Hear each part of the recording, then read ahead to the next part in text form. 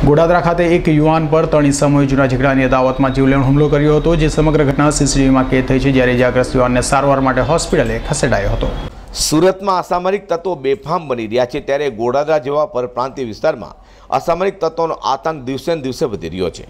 જેમાં મોડી સાંજે ગોડાદરામાંથી એક યુવાન પર ત્રણ ઇસમોએ જીવલેણ હુમલો કર્યો હતો, જે સમગ્ર ઘટના સીસીટીવીમાં કેદ થવા પામી છે.